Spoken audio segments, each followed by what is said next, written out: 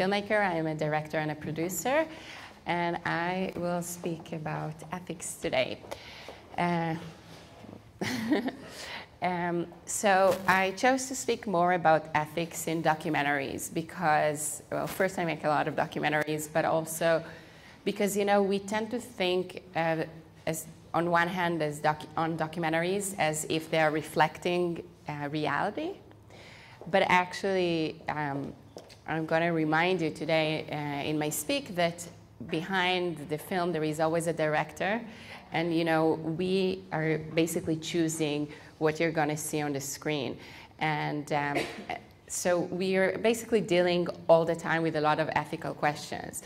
And, and I think the first time that it's really dawned to me, my, the power of, you know, the, the, power that I have in my hand is when I did my first film, To Die in Jerusalem. Uh, you know, I, I graduated uh, from college. It was my master's thesis, and, and luckily HBO bought it. And, um, and the first night that I know that was a really short way to tell the whole story of how it went, but it doesn't matter. It was basically uh, the film uh, tell. I went to school in Illinois, from all places, and and, um, and I wanted to do a film about the conflict. And there was a bombing in Jerusalem that a Palestinian girl blew herself in the entrance to, to a grocery store and killed herself and another Israeli girl, uh, Rachel Levy, who they were basically at the same age, and also the guard who prevented her from entering the store. It was in Kiryat Yovel, if anyone remembers. And basically, I did. I followed the two mothers of the two girls on this long journey that at the end they met. And um, it's a real reflection of reality, unfortunately, also today, as it was back then in 2007 that I finished the film. But what I want to say is that so when the film aired on HBO, and the first night there were, you know, over a million people who watch it, I think this is when I realized how much power I have uh, in my hand and how careful I have to be when, you know, how I use it and what is the message that I'm uh, delivering in my work. So we can go to the next slide. Um, so first I wanted to actually shift the, the conversation to um, the responsibility that we have as a documentary filmmaker to our subject matters. Because, you know, we are telling stories uh, of people. And um, the first, I always like to give examples uh, of uh, films and, and, you know, work that we, that, you know, I, I situation that I've been at. And, and I wanted to give, to give as a, like a study case to talk about Web Junkie, which is a documentary that I've made with another filmmaker, Shosh Shlam, um, about uh, basically um, China is the first country in the world to declare internet addiction as a clinical disorder. And through China, there are rehab centers for kids that are addicted to the internet.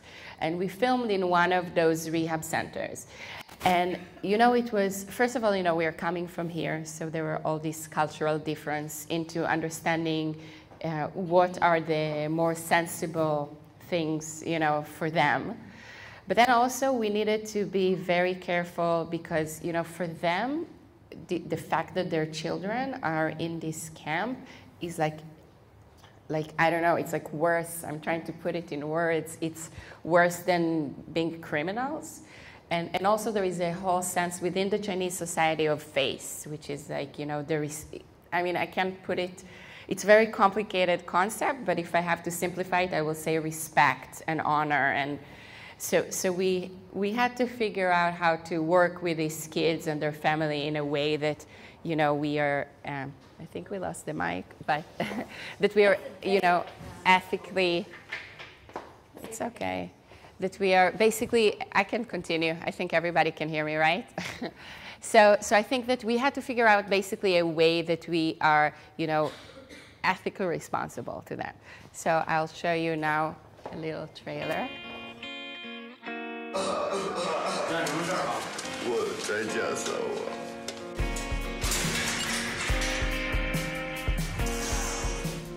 平常的朋友不在网上了。没有，先是在续费了。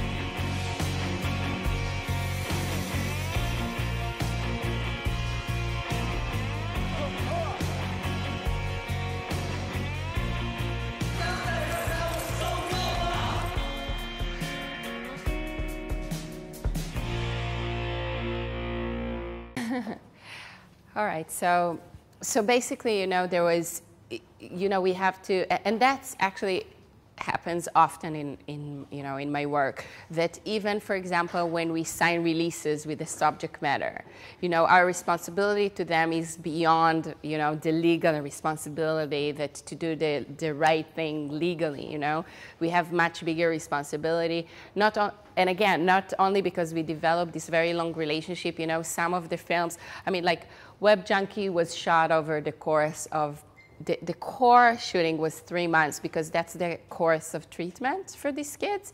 But you know, some of the films that we do, it's like years of shootings. You know, it's like two, like To Die in Jerusalem um, that I mentioned, it was four years of shooting. You know, sometimes you follow people and they become, like you become big part of their life. So you have a real responsibility to the content and what you show, but sometimes it's other responsibility. Like, you know, you, you develop this relationship with them that you speak to them every day. And then you finish the film and you don't need to speak to them every day. But you can't just like disappear to people, you know? So, so there are a lot of ethical and responsibility questions towards the subject matters and, and you know, um, in many levels. And that was just one example. I think I have some more photos. Is it working, the thing? Yeah, no. it actually should work now. It's not? Okay, so let's move. Yeah, that's like an example of, uh, you know, they're going through a lot of therapy. Uh, in, in China, actually, um, psychology, uh, it's a very new field because during the communism, uh, communist time, there was no, you know, there was no, like in the university, they didn't study psychology, so all the psychologists are very young.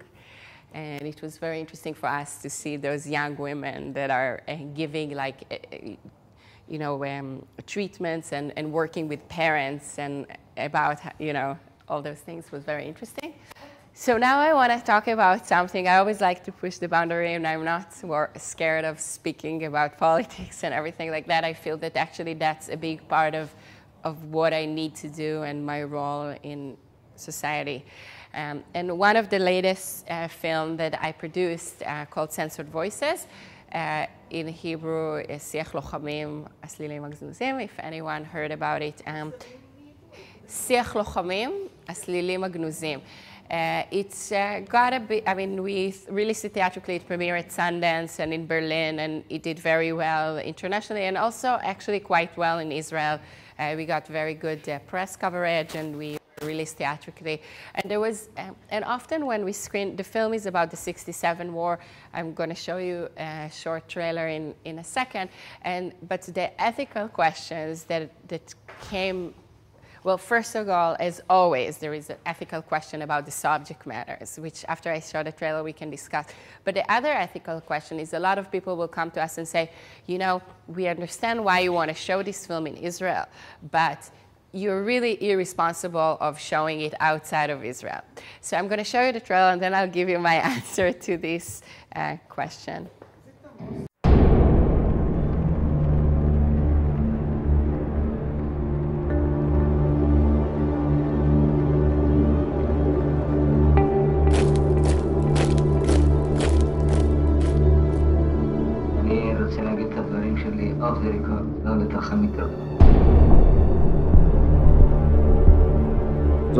הראשונה שלי.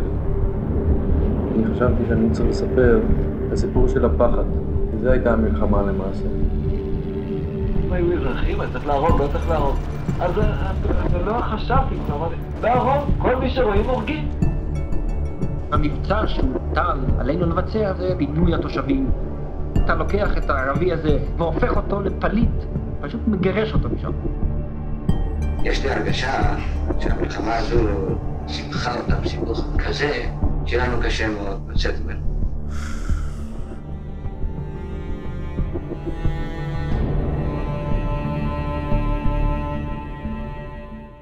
So first of all, uh, the ethical question of showing something very political outside of Israel. So first I want to tell you that I think in many ways you know, we travel a lot. I travel a lot with my work, and I'm meeting a lot of people. And in many ways, we are, um, ambassadors of Israel outside Israel, as you know, as artists, as filmmakers, uh, and, and I think in many in many times our meetings and conversation with audience in different places, actually very is actually helping a lot uh, the Israel, and I think also for me, you know, being showing that the you know Israeli artists and the Israel society is able to listen and to create this kind of content, that's to me actually something that shows something very good about us as a society, that we are able to take criticism. And, and to me, I actually, from, from our travel with the film, I think that the, the reaction and what we get is it doesn't feed the, the BDS or other movements. It's actually the opposite. And quite frankly, I have to tell you that the, those people who are, you know, anti-Israel, they're not going to come to our films. They're not going to even listen to this content. And, and I can tell you that the only meeting I had ever with this kind of organization was when I screened my film Dancing in Jaffa, which we'll talk about later, which is very, I mean, it's political, but it's very non-political and it's very uplifting and it's very kind of pro-peace and very, so I had a screening of this film in France.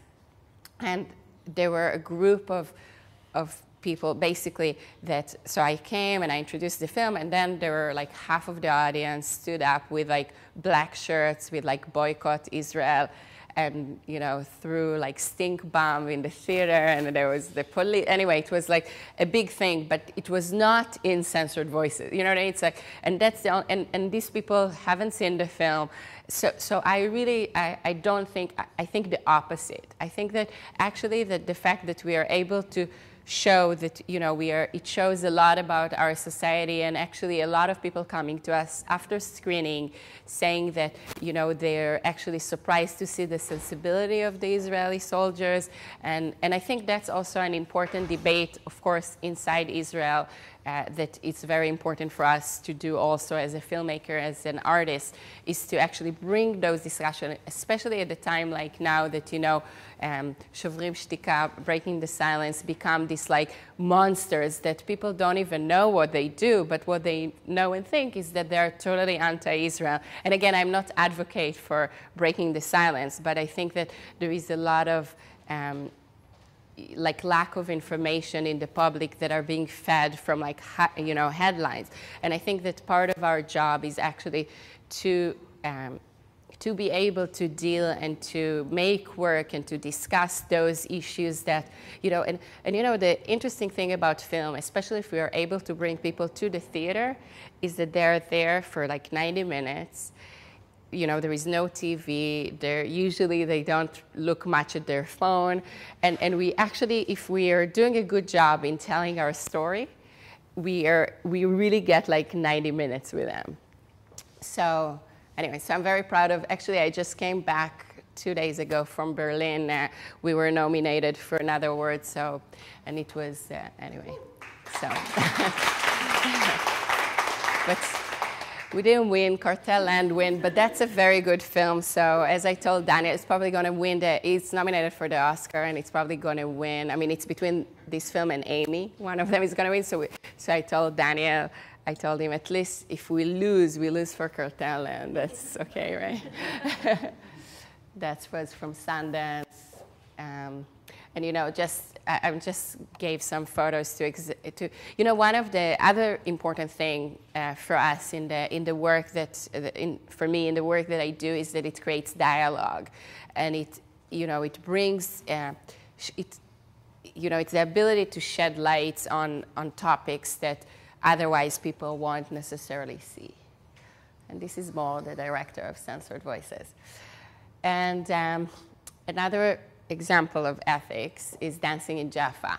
Uh, first of all, you know, when, you, when, we work, when I work with kids, there are whole sets of ethical questions that you deal with because first of all you know they're young kids. Sometimes they'll tell you a lot of things that are you know they don't really understand it. Uh, you have to deal with parents schools school system. Like you know there is a, a whole lot of different issue. And then, of course, you know, I, I, mentioned it a bit at the beginning, but I'll say it again because I think it, we have to remember that even documentaries, that they are, you know, it's real people, it's really they're saying what they're saying. Like for me, I would never tell someone, can you say this, one, two, three, four? I mean, I might tell them, can you repeat it?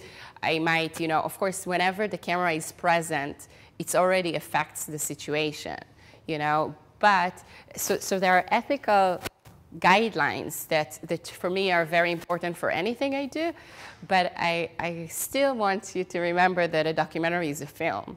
And, and even if I look at this crowd and I'm going to put a camera and I'm going to just, you know, do a close-up on one of you, and that's what you're going to see. So the experience that you will see through the camera is very different than my experience here, even if the camera was standing here.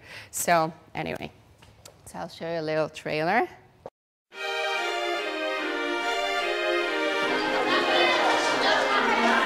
Boys, come over here. Hello.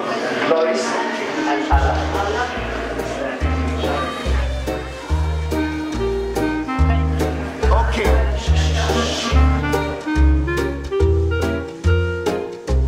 I was born in Jaffa, but we left when I was four years old. And what I can give back to children is ballroom dancing. The program is 10 weeks, Palestinian and Jewish children together. من ناحية دين أو إسلام ديننا بيسمحش إنه ولد يرقص مع بنت مع May I have this dance please? אבא שלי יראה אותי עם ערבי, הוא יהרוג יהודי ערבי. כן. אתם ביחד. No. למה no? I think we're going to cancel the school.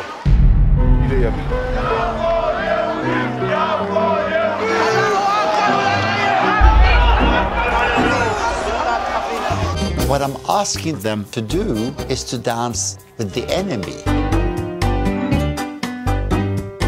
איפה אבא שלך? אתה יודע מה זה בנק הזרע? מה?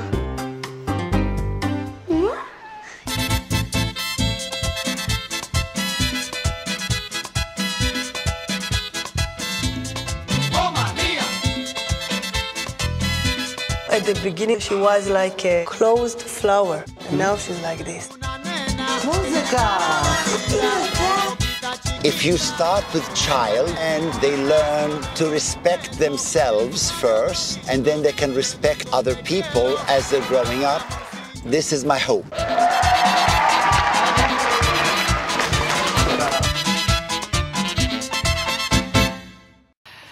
All right, so um, one day, by the way, this film was screened in Israel, but uh, Keshet actually bought the rights to broadcast it. Uh, and uh, one day they'll find a time between Big Brother and uh, I don't know what else is going on, but um, I, what Keshet. So I'm, I'm actually very proud that that happened because you know most of of the films, of the documentaries that I make are, you know, we're working a lot with the yes Docu and a little bit with Channel 8 and a bit with others. But, uh, you know, when Keshet actually bought the rights to this film, I was very excited. Uh, and uh, but they haven't yet aired it yet. Every now and then they call me and they say, "Oh, we're thinking, you know, on the second day of Rosh Hashanah, it's a great day," because they're very proud of the film.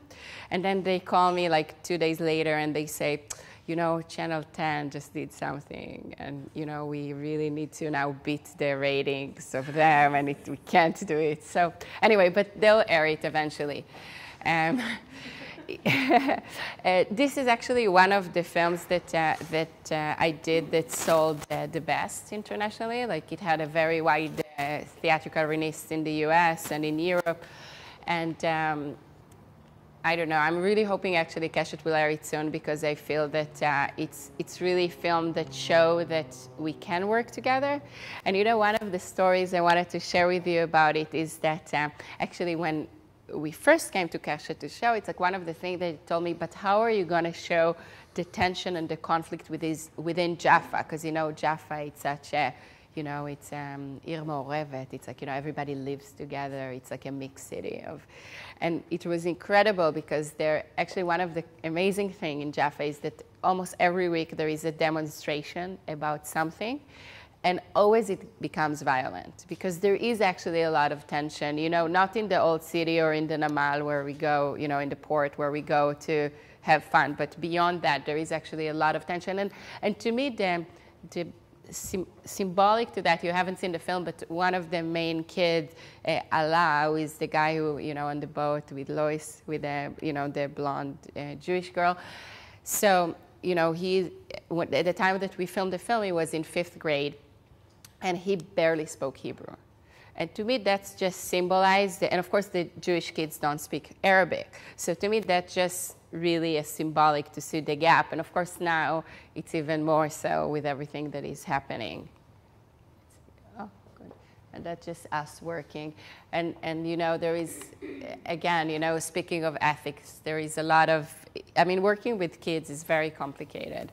And it's funny because someone told me recently that in almost all my films, there are kids. Like if you think, I mean, well, censored voices not so much, but even though they were 18 or 20 when they spoke originally in 67, but yeah. Um, well, I guess not. Well, there are kids too. um, you know, another another uh, film I did that uh, was uh, I made a documentary, The Go-Go Boys, about Menachem Golan and Yoram Globus, and um, it was really. I mean, for me, it was a great experience. I, I filmed him for about three years, and it was the three last years of Menachem before he passed away. And it was uh, quite incredible. And actually, I, I uh, that's a fun film, other than the, you know, the other film. And it was really amazing for me. And even if you don't like the films, uh, that's, I mean, I, I think you will enjoy the film uh, because uh, it, it's really like a, a personal journey of them to, you know, like they had this American dream to make it in Hollywood. And I think that's something that we can all relate about, you know, us living here. And in the, this case, they're from Tiberias. And they, you know, they wanted to, basically, they had this big American dream to make it big. And they actually did. And I think a lot of Israelis, even if you know their films, and we all know at least some of them, like Salah Shabati and, um, and Mivtza Yonatan and some other films that they have done, I don't think we realized to what extent they were big and influential um, internationally.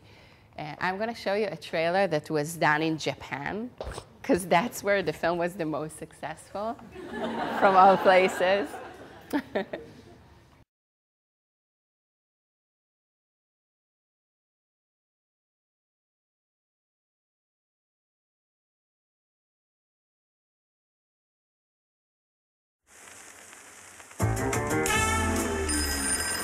Meet Israeli duo Menachem Golan and Yoram Globus. They have a dream of taking over Hollywood with their company Cannon Films.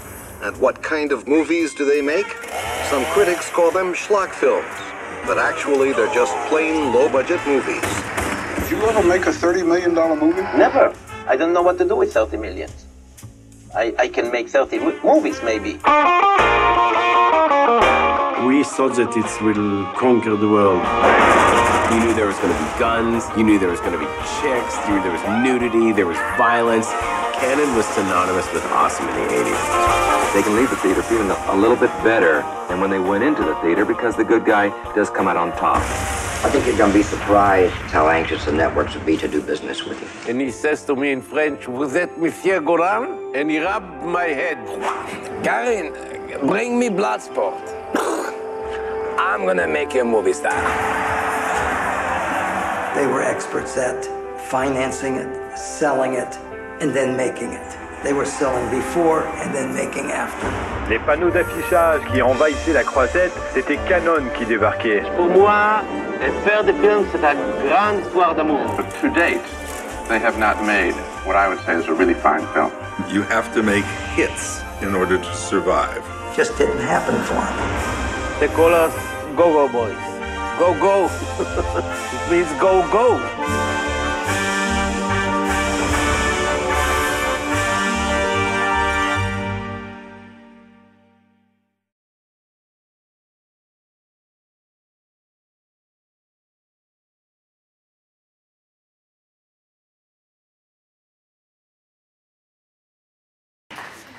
So yeah, it was it was so weird to me. Like so, I, I was actually invited to Japan when it was released in theaters, well, that's the date for the DVD release. it's coming up. Uh, so it, it, was fun, you know, it was great, and I, I, always wanted to go to Japan, so we all came.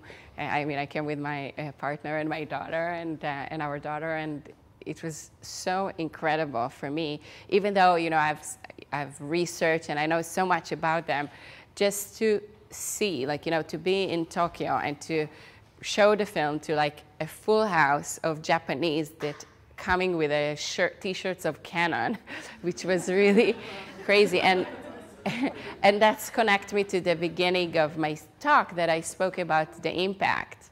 I mean, you know, this was, of course, you know, I'm not quite there yet, as they were, but you know, they made 300 films, more than 300 films that were screening all over the world. So that's just to show you the possibility of impact that you have when you do this kind of, of work versus, I mean, and I don't underestimate, I love theater and I love, you know, different kind of, of art, but the problem with theater is that you have to come to the theater and see, so the, your reach is a bit limited. So the power of film really incredible, and even more so today with um, you know, internet, that we do a lot of things online. A lot of the industry is moving to streaming and, you know, and it's a bit, a lot of filmmakers' films a bit unclear about where it happened, but actually to me, I think that's actually only good because we are able to reach much more people, and I think that's the important.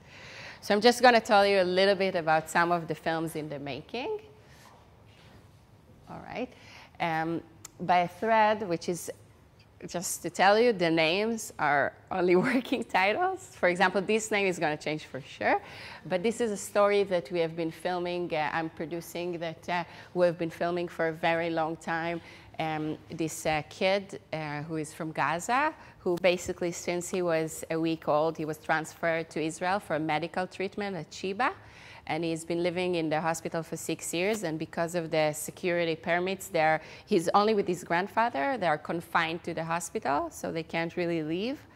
And if you have kids, you can only imagine what it is to grow up in a hospital that you can't go anywhere.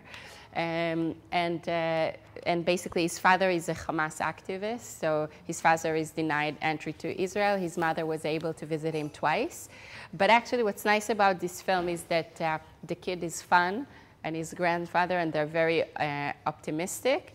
And it's almost about this very impossible situation of, at the one hand, you know, there was, of course, the war with Gaza, and there is all this tension and all those things. But on the other hand, you know, um, the hospital is really giving life to this kid.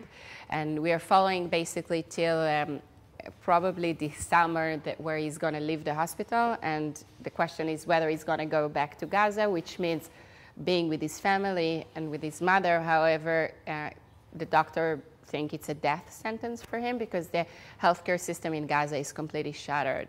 And, um, and to go, even if you have permits to cross areas, it's, if you're lucky, it takes a day till you get all the permits. And uh, if you're not lucky, it can take a week. And for him, he needs to be in a few hours in the hospital. And the other option is, of course, foster family in Israel, but that means a complete separation from his family. So it's this really impossible, but actually within the story, it's not so tragic um, because they're fun and optimistic, and there are a lot of volunteers, and there is a lot of layers to the story. That's uh, Rina um, the director is, uh, is a photographer, photojournalist, so we have those amazing photos. So we are really excited to share, it, share them with you.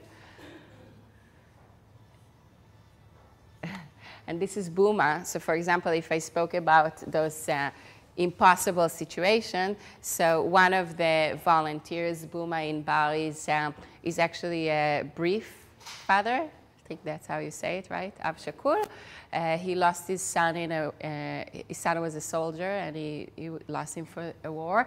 And he is, he's actually volunteering in driving a lot of the Palestinian patients from Gaza to the hospitals in Israel. Um, and he's also, uh, you know, he, he became very close to Abu Naim, the grandfather, and they formed this, like, again, this impossible um, relationship. So, so there are a lot of great layers to this story to show the complexity within where we live. Um, and this is a, another film that I'm uh, producing with the same uh, director, uh, with the same team of Censored Voices. We we made a decision that after we, you know, we made a film about 67, uh, that in many ways got us to the mess we feel. So now it's a time to, to make a film about why there is no peace and to look into Oslo. Because one of the things that we realize is that, you know, we all talk about Oslo, we always read about Oslo, but a lot of people don't know much about Oslo. Uh, so we, and, and I have to admit that the more we learn about Oslo and the more we delve into making and the research of this film, it's unbelievable, like how much we don't know. So we, we felt it was, it's a very important film and, and we, and Daniel and Mor came up with this amazing um, concept, creative concept of the Oslo Diaries. So basically everybody that was involved in this 1,100 days of secret uh, talk basically wrote a book, uh, a diary, a memoir about what happened. Uh, so um, basically it's, we are using it so through a more personal stories we are telling this uh, very interesting um, an important part of our, you know, we live and breathe Oslo every day, even if we don't realize that. So, um, so we do that. Uh, I can give you some example, but uh, anyway, that that's was taken by. We got this footage. We, you know, part of what we do is also an excessive archival research, and in, in censored voices, more did like all over the world, there are archives that we know that uh, haven't nobody showed since '67, and maybe even never uh, shown there. And the, the, way we knew it is that if we went to an archive and the footage was on reel, you know, on film reels, that means since the 80s, whatever was screened is digitized in some way, whether on a tape or a hard drive somewhere. And if we had to go and look at the at the actual reel, that means it never shown, and there are a lot of material like that. So that, uh, so we do the same thing with Oslo now. We're doing really excessive research, and, and this, for example, is a screenshot from a footage that was shot by an Israeli filmmaker who wanted to make a film about the behind the scene of Oslo, but when the peace process collapsed, he basically locked all his tape and he never touched it. And that was um, right after, right before the handshake.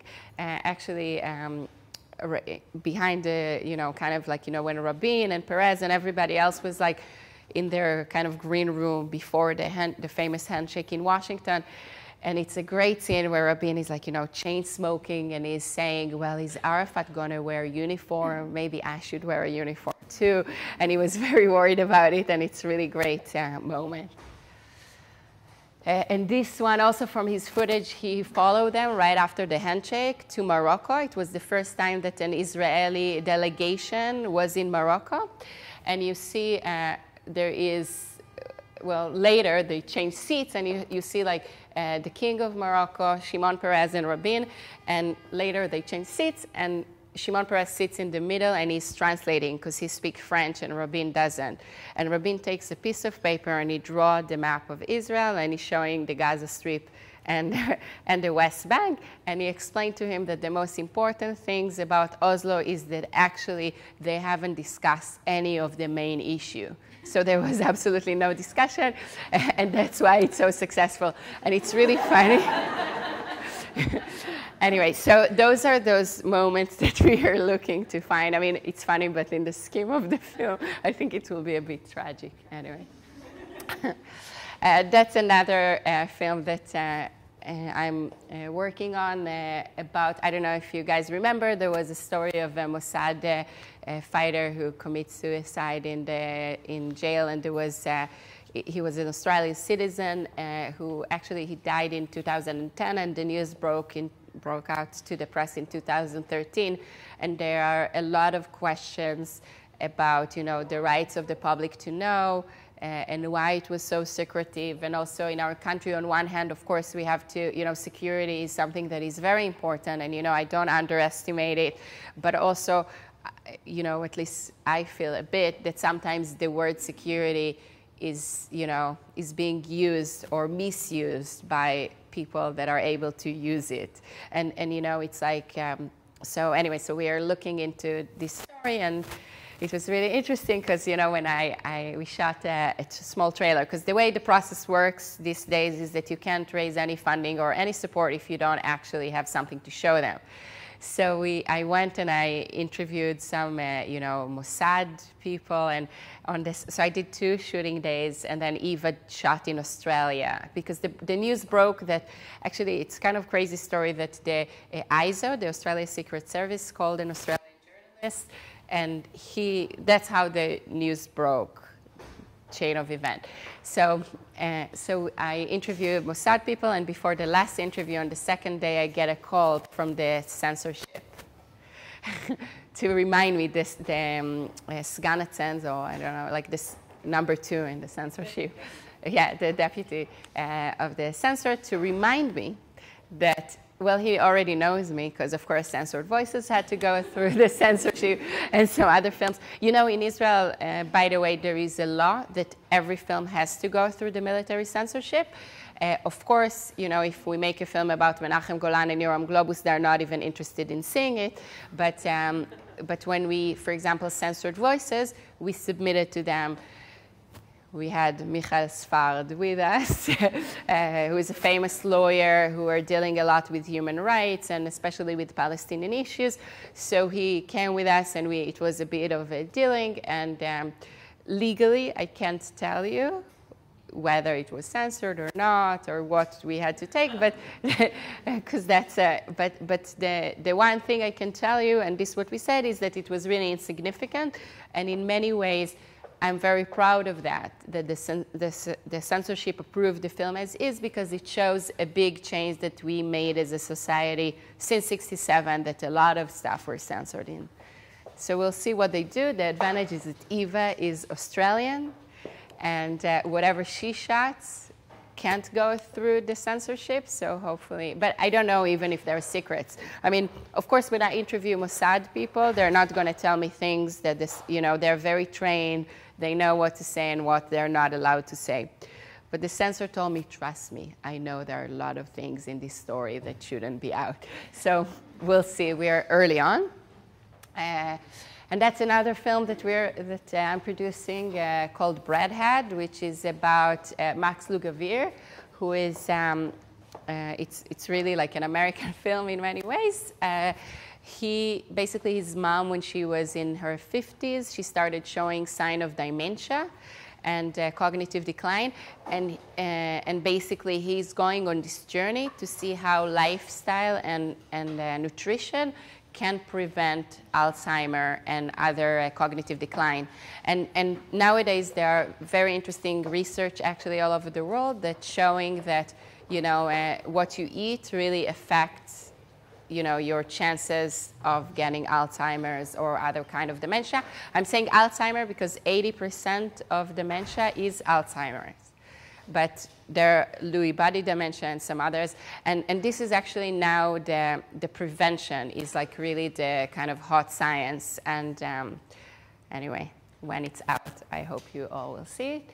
And that's Max's mom. And also, we do, I do other things. So one of the things that I did, I know I'm talking a lot about Shimon Peres. One of the things I did with uh, Mika, uh, Mika Almog is uh, Peres' granddaughter, is that we did this film. And if you haven't seen it, Google Shimon Peres goes job hunt. Um, I had to bring something. That's Mika. That's why we have this photo and uh, that was really fun to shoot. Of course, I didn't really jump from the airplane. I get that question a lot, believe it or not. um, so anyway, I wanted to show that so you see that we do a lot of other things.